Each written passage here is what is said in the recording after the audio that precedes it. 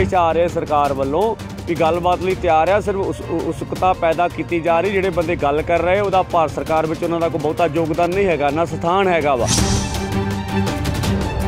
ਅਕਾਲੀ ਦਲ ਨੇ ਪਹਿਲੋਂ ਪ੍ਰੋਗਰਾਮ ਕੀਤਾ, ਅੱਜ ਪ੍ਰਧਾਨ ਮੰਤਰੀ ਜੀ ਆਏ ਨੇ ਇੱਧਰ ਹਿਮਾਚਲ ਦੇ ਵਿੱਚ ਤੇ ਕੱਲ ਰਾਹੁਲ ਜੀ ਦਾ ਪ੍ਰੋਗਰਾਮ ਹੋ ਰਿਹਾ, ਚੈਨਲਾਂ ਦੇ ਉੱਤੇ ਸਾਡੀ ਸਪੇਸ ਘਟਾਉਣ ਦਾ ਇੱਕ ਪ੍ਰੋਗਰਾਮ ਹੈ, ਇਹ ਸਾਰੇ ਦੇ ਸਾਰੇ ਸਾਮਰਾਜ ਕਾਰਪੋਰੇਟ ਘਰਾਣਿਆਂ ਦੇ ਦਲਾਲ ਆ। ਇਹ ਅੰਦੋਲਨ ਲਗਾਤਾਰ ਜਾਰੀ ਰੱਖਾਂਗੇ ਜਦੋਂ ਤੱਕ ਭਾਰਤ ਦੀ ਸਰਕਾਰ ਕਾਲੇ ਕਾਨੂੰਨ ਵਾਪਸ ਨਹੀਂ ਲੈ ਲੈਂਦੀ। ਅੰਮ੍ਰਿਤਸਰ ਵਿੱਚ ਕਿਸਾਨਾਂ ਦਾ ਪ੍ਰਦਰਸ਼ਨ 10ਵੇਂ ਦਿਨ ਵੀ ਰੇਲਵੇ ਲਾਈਨ ਤੇ ਜਾਰੀ ਰਿਹਾ। ਤੁਹਾਨੂੰ ਦੱਸ ਦਈਏ ਕਿ ਕਿਸਾਨ ਪਿਛਲੇ 10 ਦਿਨਾਂ ਤੋਂ ਅੰਮ੍ਰਿਤਸਰ ਦੇ ਦੇਵੀਦਾਸਪੁਰਾ ਵਿਖੇ ਰੇਲਵੇ ਲਾਈਨ ਤੇ ਬੈਠੇ ਹਨ ਅਤੇ ਲਗਾਤਾਰ ਮੰਗ ਕਰ ਰਹੇ ਨੇ ਕਿ ਖੇਤੀ ਆਰਡੀਨੈਂਸ ਰੱਦ ਹੋਣ। ਕਿਸਾਨਾਂ ਨੇ ਰਾਸ਼ਟਰਪਤੀ ਦਾ ਪੁਤਲਾ ਫੂਕ ਕੇ ਪ੍ਰਦਰਸ਼ਨ ਕੀਤਾ। ਇਸ ਮੌਕੇ ਕਿਸਾਨ ਮਜ਼ਦੂਰ ਸੰਘਰਸ਼ ਕਮੇਟੀ ਦੇ ਜ਼ਿਲ੍ਹਾ ਜਨਰਲ ਸਕੱਤਰ ਸਰਵਨ ਸਿੰਘ ਬੰਦੇਰ ਨੇ ਕਿਹਾ ਹੈ ਕਿ ਖੇਤੀਬਾੜੀ ਆਰਡੀਨੈਂਸ ਸੰਬੰਧੀ ਕਿਸਾਨ 10 ਦਿਨਾਂ ਤੋਂ ਲਗਾਤਾਰ ਰੇਲਵੇ ਟਰੈਕ ਜਾਮ ਕਰ ਰਹੇ ਨੇ, ਪਰ ਉਹਨਾਂ ਦੀਆਂ ਗੱਲਾਂ ਨਹੀਂ ਸੁਣੀਆਂ ਜਾ ਰਹੀਆਂ ਉਹ ਇਸ ਮੁੱਦੇ ਤੇ ਆਉਣ ਵਾਲੀਆਂ ਚੋਣਾਂ ਦੇ ਮੱਦੇਨਜ਼ਰ ਰਾਜਨੀਤੀ ਕਰ ਰਹੇ ਨੇ। ਇਸੇ ਲਈ ਅੱਜ ਉਹਨਾਂ ਨੇ ਦੇਸ਼ ਦੇ ਰਾਸ਼ਟਰਪਤੀ ਦਾ ਪੁਤਲਾ ਫੂਕ ਕੇ ਪ੍ਰਦਰਸ਼ਨ ਕੀਤਾ ਹੈ ਤੇ ਕਿਸਾਨ ਲਗਾਤਾਰ ਮੰਗ ਕਰ ਰਹੇ ਨੇ ਕਿ ਖੇਤੀਬਾੜੀ ਆਰਡੀਨੈਂਸ ਰੱਦ ਕੀਤੇ ਜਾਣ, ਕਿਉਂਕਿ ਖੇਤੀਬਾੜੀ ਆਰਡੀਨੈਂਸ ਦੁਆਰਾ ਕਿਸਾਨਾਂ ਦਾ ਸਫਾਇਆ ਕਰ ਦਿੱਤਾ ਜਾਵੇਗਾ। ਜੇਕਰ ਆਉਣ ਵਾਲੇ ਦਿਨਾਂ ਵਿੱਚ ਉਹਨਾਂ ਦੀ ਮੰਗ ਪੂਰੀ ਨਾ ਕੀਤੀ ਗਈ, ਤਾਂ ਉਹ ਆਪਣਾ ਪ੍ਰਦਰਸ਼ਨ ਹੋਰ ਵੀ ਤਿੱਖਾ ਕਰਨਗੇ। ਆ, ਮੈਂ ਸਰਵਣ ਸਿੰਘ ਭੰਦੇਰ ਕਿਸਾਨ ਮਜ਼ਦੂਰ ਸੰਘਰਸ਼ ਕਮੇਟੀ ਸੂਬਾ ਜਨਰਲ ਸਕੱਤਰ ਬੋਲਦਾ ਜੀ।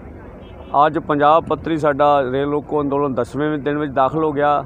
ਤੇ ਜਿਹੜਾ ਸਾਂਝਾ ਅੰਦੋਲਨ ਹੈ ਪੰਜਾਬ ਪੱਧਰੀ, ਉਹ ਅੱਜ ਤੀਜੇ ਦਿਨ ਵਿੱਚ ਦਾਖਲ ਹੋ ਗਿਆ ਤੇ ਪੂਰੇ ਪੰਜਾਬ ਦੇ ਵਿੱਚ ਜਿਵੇਂ ਆ ਰੇਲ ਰੋਕੋ ਵੀ ਚੱਲ ਰਿਹਾ, ਪੈਟਰੋਲ ਪੰਪਾਂ ਦੇ ਧਰਨੇ ਮੁਜ਼ਾਹਰੇ ਵੀ ਚੱਲ ਰਹੇ ਆ, ਟੋਲ ਪਲਾਜ਼ਿਆਂ 'ਚ ਵੀ ਚੱਲ ਰਹੇ ਆ, ਸ਼ੰਭੂ ਬਾਰਡਰ ਵੀ ਚੱਲ ਰਿਹਾ, ਭਾਜਪਾ ਦੇ ਲੀਡਰਾਂ ਦੇ ਘਰਾਓ ਵੀ ਚੱਲ ਰਹੇ ਆ। ਸੋ ਅੱਜ ਅਸੀਂ ਰਾਸ਼ਟਰਪਤੀ ਦਾ ਅਰਥੀ ਫੂਕ ਮੁਜ਼ਾਹਰਾ ਕੀਤਾ, ਇਸ ਕਰਕੇ ਵੀ ਇਹ ਵਿਧਾਨਕ, ਸੰਵਿਧਾਨਕ ਅਦਾਰਾ ਸੀਗਾ। ਪਰ ਇਹ ਪਾਰਟੀ ਬਾਜ਼ੀਆਂ ਦੇ ਡਿੱਕੇ ਚੱਲ ਕੇ ਇਹ ਵਿਧਾਨਕ ਅਦਾਰਾ ਨਹੀਂ ਰਿਹਾ। ਜਿਵੇਂ ਦੇਸ਼ ਦਾ ਫੈਡਰਲ ਢਾਂਚਾ ਤੋੜਨ ਦਾ ਯਤਨ ਕੀਤਾ ਜਾ ਰਿਹਾ, ਉਹ ਫੈਡਰਲ ਢਾਂਚੇ ਦਾ ਨੁਕਸਾਨ ਕੀਤਾ ਜਾ ਰਿਹਾ ਵਾ। ਇਸ ਕਰਕੇ ਸਾਡੀ ਇਹਦੇ ਤੇ ਸੀਗਾ ਵੀ ਵਿਧਾਨਕ ਅਦਾਰੇ ਨੂੰ ਬਚਾਇਆ ਜਾ ਸਕੇ ਤੇ ਤਾਂ ਇਹ ਰਾਸ਼ਟਰਪਤੀ ਦਾ ਅਸੀਂ ਅਰਥੀ ਫੂਕ ਮੁਜ਼ਾਹਰਾ ਕੀਤਾ। ਇਹਦੇ ਨਾਲ ਜਿਹੜੇ ਆ ਸੰਦੇਸ਼ ਆ ਰਹੇ ਸਰਕਾਰ ਵੱਲੋਂ ਵੀ ਗੱਲਬਾਤ ਲਈ ਤਿਆਰ ਆ, ਸਿਰਫ ਉਸ ਉ- ਉਤਸੁਕਤਾ ਪੈਦਾ ਕੀਤੀ ਜਾ ਰਹੀ, ਜਿਹੜੇ ਬੰਦੇ ਗੱਲ ਕਰ ਰਹੇ, ਉਹਦਾ ਭਾਰਤ ਸਰਕਾਰ ਵਿੱਚ ਉਹਨਾਂ ਦਾ ਕੋਈ ਬਹੁਤਾ ਯੋਗਦਾਨ ਨਹੀਂ ਹੈਗਾ, ਨਾ ਸਥਾਨ ਹੈਗਾ ਵਾ। ਸਿਰਫ ਲੋਕਾਂ ਦੇ ਵਿੱਚ ਭਰਮ ਪੈਦਾ ਕੀਤੇ ਜਾ ਰਹੇ ਆ ਵੀ ਖਰੇ ਗੱਲਬਾਤ ਨਾਲ ਮਸਲੇ ਹੱਲ ਹੋ ਜਨੇ ਆ। ਉਵੇਂ ਭਾਰਤ ਦੀ ਸਰਕਾਰ ਨੂੰ ਸਾਰੀ ਗੱਲ ਦਾ ਪਤਾ ਵਾ ਵੀ ਕਿਸਾਨ ਚਾਹੁੰਦੇ ਕੀ ਆ। ਸੋ ਅਸੀਂ ਪੱਕੇ ਆ ਹਾਂ, ਜੇ ਸਰਕਾਰ ਦਾ ਕੋਈ ਅਫਸ਼ਲੀ ਸੱਦਾ ਆਊਗਾ ਭਾਰਤ ਸਰਕਾਰ ਸੰਜੀਦਾ ਹੋ ਕੇ ਗੱਲ ਕਰਨਾ ਚਾਹੂਗੀ ਤੇ ਕਦੀ ਵੀ ਕਿਸਾਨ ਲਹਿਰ ਦੇ ਆਗੂ ਇਤੋਂ ਮੁੱਕਰਦੇ ਨਹੀਂ ਹੈਗੇ। ਪਰ ਇਹ ਘੋਲ ਲੰਮੇ ਚੱਲਣੇ ਆ ਤੇ ਲੰਮੇ ਅ, ਦਾ ਤੋਂ ਸਾਨੂੰ ਇੱਥੇ ਲੜਨਾ ਚਾਹੀਦਾ। ਜਿਵੇਂ ਸਿਆਸੀ ਤੌਰ ਤੇ ਘੋਲ ਨੂੰ ਹਥਿਆਇਆ ਜਾ ਰਿਹਾ ਜਿਵੇਂ ਅਕਾਲੀ ਦਲ ਨੇ ਪਹਿਲੋਂ ਪ੍ਰੋਗਰਾਮ ਕੀਤਾ ਅੱਜ ਪ੍ਰਧਾਨ ਮੰਤਰੀ ਜੀ ਆਏ ਨੇ ਇੱਧਰ ਹਿਮਾਚਲ ਦੇ ਵਿੱਚ। ਤੇ ਕੱਲ ਰਾਹੁਲ ਜੀ ਦਾ ਪ੍ਰੋਗਰਾਮ ਹੋ ਰਿਹਾ। ਚੈਨਲਾਂ ਦੇ ਉੱਤੇ ਸਾਡੀ ਸਪੇਸ ਘਟਾਉਣ ਦਾ ਇੱਕ ਪ੍ਰੋਗਰਾਮ ਹੈ। ਇਹ ਸਾਰੇ ਦੇ ਸਾਰੇ ਸਾਮਰਾਜ ਕਾਰਪੋਰੇਟ ਘਰਾਣਿਆਂ ਦੇ ਦਲਾਲ ਆ। ਅੱਜ ਅਸੀਂ ਜੀਓ ਦੀਆਂ ਸਿੰਮਾਂ ਦੇ ਬੱਕ ਫੇਰ ਫੂਕੇ ਆ ਤੇ ਲੋਕਾਂ ਨੂੰ ਬੇਨਤੀ ਕਰਦੇ ਆ ਵੀ ਕਾਰਪੋਰੇਟ ਘਰਾਣਿਆਂ ਦੀਆਂ ਵਸਤੂਆਂ ਦਾ, ਅਡਾਨੀ ਅੰਬਾਨੀਆਂ ਦੀਆਂ ਵਸਤੂਆਂ ਦਾ ਬਾਈਕਾਟ ਕੀਤਾ ਜਾਵੇ।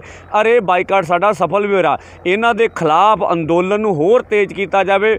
ਕਾਰਪੋਰੇਟ ਘਰਾਣਿਆਂ ਦਾ ਵਿਰੋਧ ਜਨਤਕ ਤੌਰ ਤੇ ਤੇਜ਼ ਕੀਤਾ ਜਾਵੇ ਤੇ ਇਹਨਾਂ ਵਸਤੂਆਂ ਦਾ ਬਾਈਕਾਟ ਕੀਤਾ ਜਾਵੇ। ਇਹ ਅੰਦੋਲਨ ਲਗਾਤਾਰ ਜਾਰੀ ਰੱਖਾਂਗੇ ਜਦੋਂ ਤੱਕ ਭਾਰਤ ਦੀ ਸਰਕਾਰ ਕਾਲੇ ਕਾਨੂੰਨ ਵਾਪਸ ਨਹੀਂ ਲੈ ਲੈਂਦੀ। ਹੰਸਰਾਜ ਵੱਲੋਂ ਇੱਕ ਬਿਆਨ ਜਾਰੀ ਕੀਤਾ ਗਿਆ ਕਿ ਪ੍ਰਧਾਨ ਮੰਤਰੀ ਜੀ ਦੇ ਨਾਲ ਕਿਸਾਨਾਂ ਨੂੰ ਮਿਲਾਇਆ ਜਾਵੇਗਾ ਹਾਂ ਹੰਸਰਾਜ ਜੀ ਨੇ ਕੀਤਾ ਇਹ ਬਿਆਨ ਇੱਕ ਹਫ਼ਤੇ ਤੋਂ ਆ ਰਹੇ ਨੇ ਮੀਡੀਆ ਦੇ ਵਿੱਚ। ਪਰ ਕੋਈ ਉਹਦੀ ਸਿਰ ਮੂੰਹ ਹਜੇ ਤੱਕ ਨਹੀਂ ਲੱਗ ਰਿਹਾ।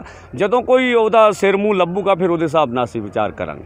ਹੁਣ ਦੇਖਣਾ ਇਹ ਹੋਵੇਗਾ ਕਿ ਕਿਸਾਨਾਂ ਦੇ ਇਸ ਤਰ੍ਹਾਂ ਲਗਾਤਾਰ ਚੱਲ ਰਹੇ ਪ੍ਰਦਰਸ਼ਨ ਤੋਂ ਬਾਅਦ ਵੀ ਜੋ ਸਰਕਾਰ ਹੈ ਉਹ ਆਪਣੇ ਖੇਤੀ ਬਿੱਲਾਂ ਜਿਨ੍ਹਾਂ ਨੂੰ ਕਾਨੂੰਨ ਬਣਾ ਚੁੱਕੀ ਹੈ ਉਸ ਨੂੰ ਰੱਦ ਕਰਦੀ ਹੈ ਜਾਂ ਨਹੀਂ? ਅੰਮ੍ਰਿਤਸਰ ਤੋਂ ਲਲਿਤ ਸ਼ਰਮਾ ਦੀ ਰਿਪੋਰਟ ਸਾਂਝਾ ਟੀਵੀ।